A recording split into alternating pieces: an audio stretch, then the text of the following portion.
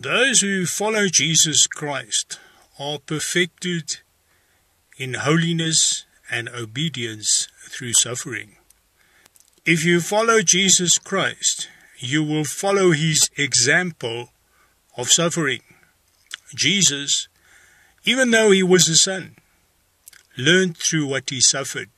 And if we follow him, we will also learn through suffering. We read in uh, 1 Peter chapter 4 verse 1. For as much then as Christ hath suffered for us in the flesh, arm yourselves likewise with the same mind, for he that hath suffered in the flesh hath ceased from sin. God disciplines every son that he accepts. So if you are accepted as a child of God, then you will be disciplined and you will learn through what you suffer. I have uh, suffered much in my life because that is the way that God teaches his own children. If we do not suffer, then we are illegitimate children. And he will teach us through much suffering. God has taught me through trials, pain, suffering. Right now, I'm going through some suffering. For the past three months, I've had a little toe that has got chilblains or winter's toe. I cannot wear a shoe. So I asked the Lord, I said, Lord, what must I learn from this? Because there's no medication that helps for chilblains. You just need to move to a, a warmer place. So I said, Lord, what must I learn from uh, this small toe that is so painful keeps me awake at night. And the Holy Spirit teaches me that if the little toe suffers, then the whole body suffers because it keeps me awake at night. It causes me to pray and spend more time with the Lord. You see, if the smallest member of the body of Christ suffers, then the whole body suffers. And we have to care for each other care for those whom we regard least because they are important. If they suffer, the body of Christ suffers.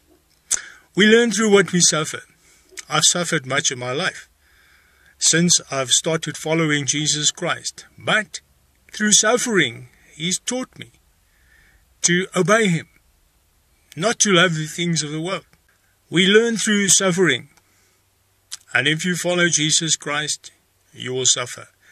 There is no coincidence in the life of a child of God because God directs our footsteps. Whatever happens to us is in the plan of God because we are children of God. Whenever anything happens to me, pain, sickness, misfortune, whatever, I turn to Jesus. I say, Lord, what are you teaching me? Because that is the way that he teaches us. Maybe he's speaking to you. He chastises those whom he loves. Maybe there's sin in your life. Ask the Lord why you are sick.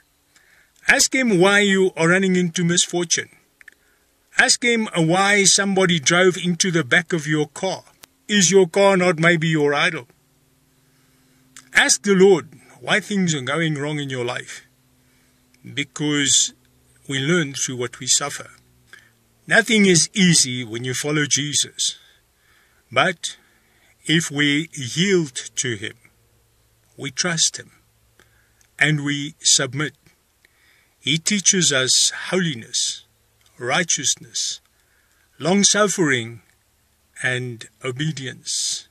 We are changed into His likeness through suffering, but we must submit to Him.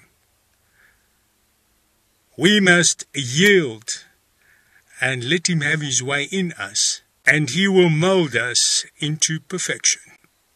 If you yield to the discipline of the Holy Spirit, and you accept the suffering, and learn from it, then you will be changed into His likeness and be suitable to enter the kingdom of heaven.